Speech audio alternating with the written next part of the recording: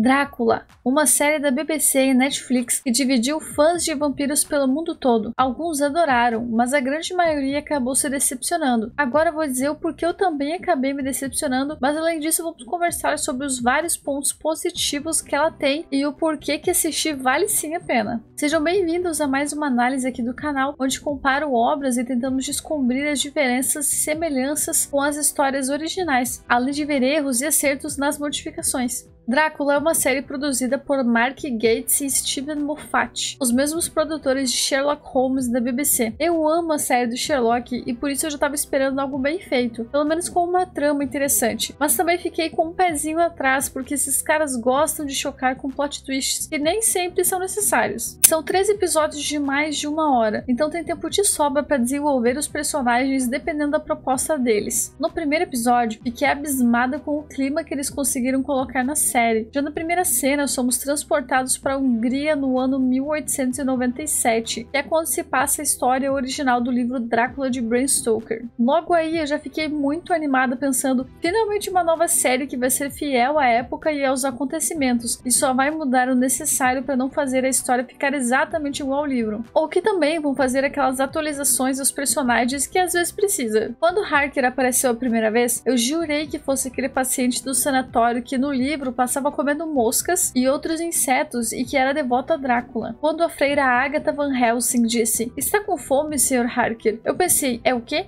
Eles usaram a cena só para fazer referência ao paciente que é importante no livro, mas que não existe na série. E eles fazem muito isso durante a série inteira. Pegaram o personagem e introduzir falas ou manias nele para fazer referências àqueles que não tiveram espaço na trama. Isso foi bem inteligente. A personagem Agatha ficou maravilhosa. Ela é bem firme e decidida e deixa claro que só virou freira para ter um teto sobre sua cabeça, já que mulheres não tinham direito à propriedade e a quase nada naquela época, somente se elas estivessem no nome dos seus maridos. Muitas pessoas criticaram ela por parecer que ela é mais esperta que o Drácula, que é um ser centenário, mas mais pra frente eu vou explicar um pouco sobre isso. É excelente como a série consegue ser fiel aos pontos chaves do livro, e mesmo assim consegue se reinventar quase toda. De uma maneira resumida, eles conseguiram passar toda aquela tensão da chegada do Jonathan até o castelo de Drácula. Eles deixaram muita coisa de fora, mas o que apareceu foi bem fiel e o clima obscuro reina em toda a estadia no castelo. Foram poucas as adaptações que conseguiram passar o real inferno que Jonathan enfrentou nesse período. Geralmente as histórias já pulam para Drácula indo para território inglês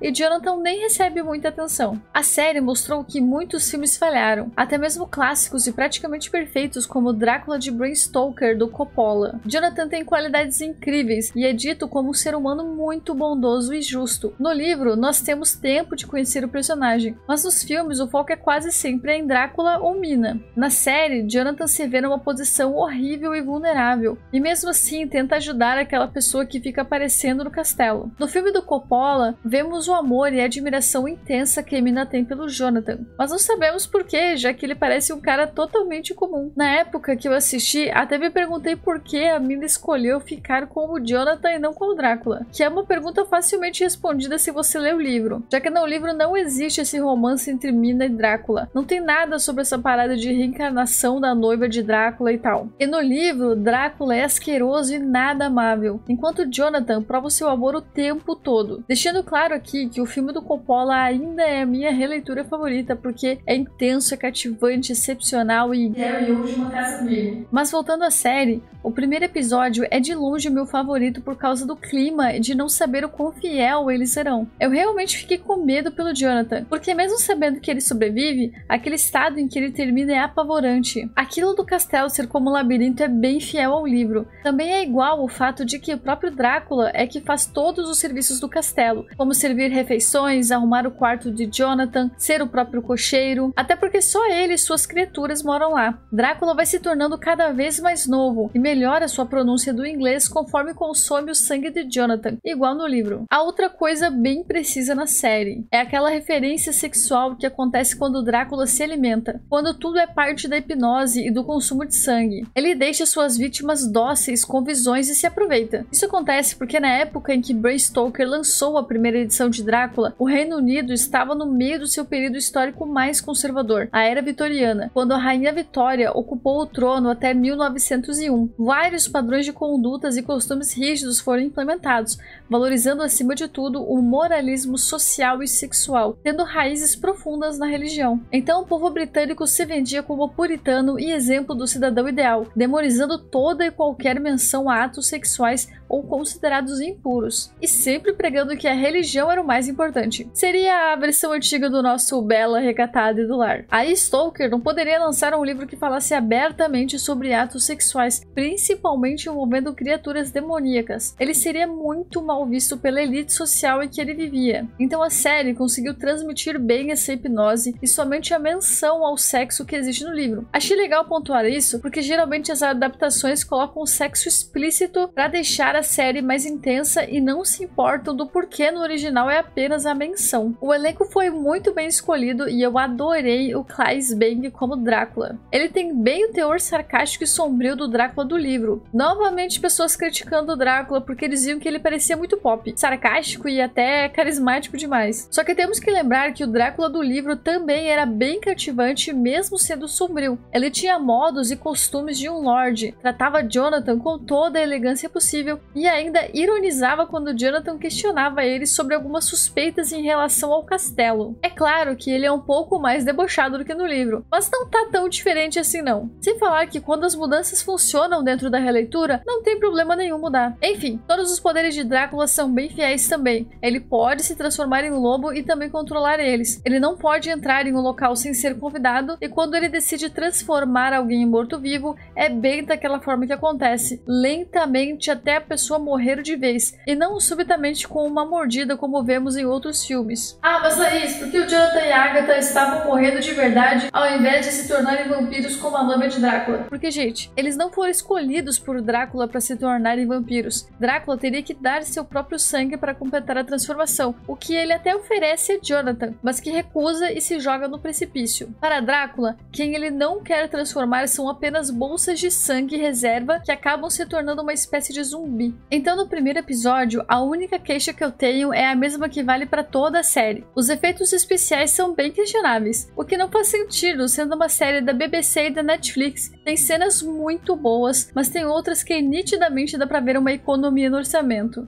Já no segundo episódio, eles focam na viagem de Drácula até o Reino Unido, mostrando o famoso navio Deméter e o que aconteceu com ele. Existe muita diferença do que acontece no livro, mas que para mim fez todo sentido. No livro, não existem passageiros, muito menos pessoas de classe elevada a bordo. São apenas os funcionários do navio, o capitão e as cargas estranhas que eles transportam. Então, como acontece na série, eles começam a sumir aos poucos e até chegam a revistar o navio. Toda aquela procura e tensão de pessoas se culpando é igual ao original. E eu acho que faz sentido a introdução dos novos passageiros, já que Drácula aprende novas línguas e costumes quando consome sangue. Então, nada mais lógico do que ele tramar para que pessoas cultas viajem com ele. Assim, ele teria à sua disposição um estoque de sangue que o prepararia para se infiltrar na sociedade britânica. Ah, é, uma coisa legal de comentar é que no primeiro episódio, durante a conversa entre a Agatha e o Jonathan, ele se liga de que não estranhou o porquê de a freira falar inglês tão bem, sendo que eles estão na Hungria e ela deveria falar húngaro. E é engraçado como ela debocha, dizendo que ele demorou para se tocar disso. E com apenas uma frase, ela satiriza aquele sentimento britânico de superioridade, como se nem precisasse se questionar o porquê de alguém falar inglês, já que esse seria o normal de alguém civilizado. Stoker satiriza muito esse costume britânico de se achar superior. No livro, ele menciona várias vezes de forma sutil essa ideia de pureza que o Reino Unido acha que tem, o que é bem característico daquela época. Voltando pro segundo episódio, eu achei ele bom, mas que não conseguiu manter o mesmo ritmo muito bom do primeiro. Mas tudo bem, isso acontece com quase todas as séries. Sempre temos essa nuance entre episódios. Quando todo mundo no navio foi se apresentando, eu fiquei pensando em como é que todas as pessoas acabariam mortas antes de chegar no continente, já que no livro ninguém sobrevive à viagem. Muitos aspectos da viagem original foram mantidos, até aquele marujo que decide ir para alto mar com apenas um bote salva-vidas. No livro, o cara também estava tão apavorado que decidiu morrer à míngua no mar do que ficar no mesmo barco do monstro. Eu não tenho muito o que falar do segundo episódio como um todo, então vou pular pro final dele, que foi aí que veio a decepção. Se eu tinha pensado que o clima incrível seguiria até o final da série, tudo foi por água abaixo quando decidem fazer aquele avanço temporal. Lembra quando eu falei que os produtores costumavam querer colocar plot twists às vezes desnecessários? Então, eu não sei o que se passou na cabeça dos diretores quando fizeram isso. Talvez acharam que a história semelhante à original e bem diferente em vários pontos não fosse suficiente para agradar a nova geração, mas foi um baita de um tiro no pé, porque além de colocar Drácula subitamente saindo da era vitoriana, no terceiro episódio eles tentam emendar com histórias sobre corporações milionárias, experimentos científicos, tecnologia, etc. Todo o clima de terror e sedução subitamente passou a ser teoria da conspiração, comédia e ficção científica. E não me entendo mal, eu adoro esses gêneros também, mas quando são introduzidos de maneira que faça sentido. Esse pulo, não somente temporal, mas como de gênero, clima e teor, quase me fez querer parar de assistir. Mas como eu tinha gostado da história até aquele ponto, eu pensei, pode ser que eles consigam encaixar magicamente essas coisas, mas foi de mal a pior. Drácula vira cobaia de experimentos, o que daria certo se mantivessem o clima intenso, mas tudo vira piada. Me lembrou até aquela releitura de Lucifer, outra série da Netflix, mas Lucifer foi produzida para ser daquela maneira, meio satirizada e bem atual, por isso que ela funciona. Já Drácula tentou ser todos os gêneros ao mesmo tempo e eu não me senti conectada a mais nada. E lembra quando eu falei que a freira e o Drácula tinham um intelecto semelhante, mesmo Drácula sendo centenário? Então, no livro, Drácula é descrito como um ser que aprende com os próprios erros. Ele insiste em certas atitudes até se convencer de que não vai funcionar. Ele não é racional, mas sim prático. Todo aquele plano que ele faz para se mudar para Inglaterra não vem de puro estudo e dedução lógica, como um gênio do mal, mas sim de várias tentativas frustradas de ocupar outros lugares. No livro, Van Helsing até explica o porquê que Drácula não acumula conhecimento durante os séculos e não vira aquele centenário supervivido e sábio. Drácula decide ignorar conhecimentos até precisar colocá-los em prática. Ele se contenta com o que ele sabe e não expande a menos que seja absolutamente necessário. Por isso, Agatha consegue facilmente alcançar e até superar o raciocínio de Drácula em vários momentos. Isso também explica o porquê de Drácula acreditar fielmente de que a luz pode matá-lo. No livro, a luz do sol realmente o enfraquece, e se ele ficar exposto enquanto enfraquecido, vira pó. Já na série,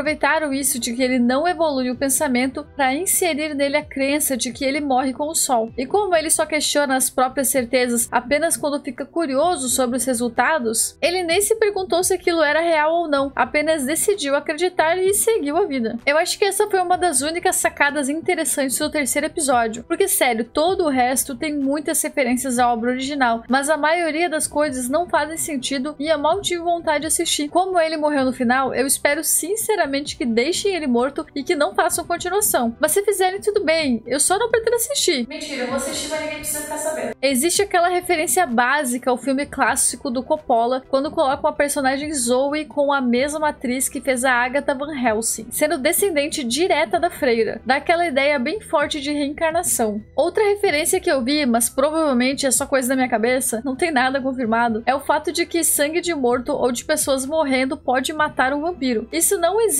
no livro original. No livro, Drácula opta por beber sangue de pessoas vivas, mas a gente não sabe qual a consequência de beber sangue de alguém morto ou quase morto. E a única história clássica e famosa que fala muito disso são as crônicas vampirescas de Anne Rice. É bem possível que seja uma homenagem, já que o fandom do universo da Anne é gigante. Eu não vou falar muito dos outros personagens que aparecem no terceiro episódio, porque realmente não tem necessidade. No geral, eles são bem rasos e parece que só serviram para tapar alguns buracos. A Lucy Winstera tinha potencial para ser uma personagem mais profunda do que ela foi no livro, mas acabou que a relação dela com Drácula e o próprio desenvolvimento dela durante o episódio foi bem fraquinho. E por fim, eu quero dizer que a série tem vários defeitos e erra feio no final, mas também tem gente fazendo reclamação sem qualquer fundamento, como com o fato de que a Agatha Van Helsing tem muita voz e atitude para uma mulher da época dela. O que não faz sentido, porque essa ideia de que mulheres eram totalmente delicadas e submissas por vontade própria foi implantada através dos filmes e que não são reflexos genuínos da época. Na verdade, as mulheres que eram quietas e submissas o faziam por medo e por achar que não valiam o suficiente para ter opiniões. E quando uma mulher se libertava desses pensamentos, ela conseguia sim se posicionar, mas era difícil justamente por causa das limitações legais e falta de dinheiro civis das mulheres, o que faziam com que muitas continuassem presas aos casamentos ou à igreja para que não morressem de fome.